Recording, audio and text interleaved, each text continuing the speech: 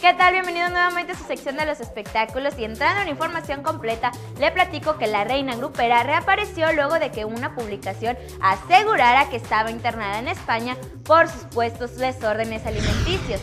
La intérprete de Alma Perdida aseguró que se encuentran en perfectas condiciones y que agradeció las muestras de apoyo que el público le ha brindado luego del surgimiento de los rumores Ana Bárbara dejó claro que su estabilidad emocional no se deberá afectada por las noticias que algunos medios de comunicación dan a conocer de manera malintencionada. Cambiando de tema, Alejandra Guzmán volvió a ser internada en un hospital para que se le sea realizada una operación, pero esta vez no se debe a ningún tratamiento estético fallido. La propia cantante fue en quien explicó la situación a través de su cuenta de Twitter y dijo que hubo banda, bailo desde los 6 años, más mi ritmo de vida me provocaron un desgaste en la cadera izquierda. Ya estoy en buenas manos, para después dar algunos detalles de su cirugía.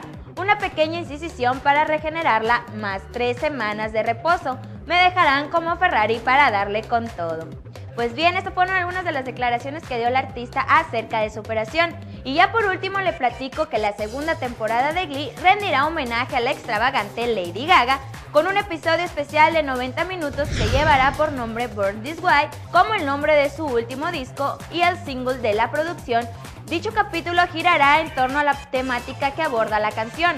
Aunque aún no se sabe qué fecha en la que se lanzará este episodio, es un hecho que Gaga será la inspiración de los chicos de Glee.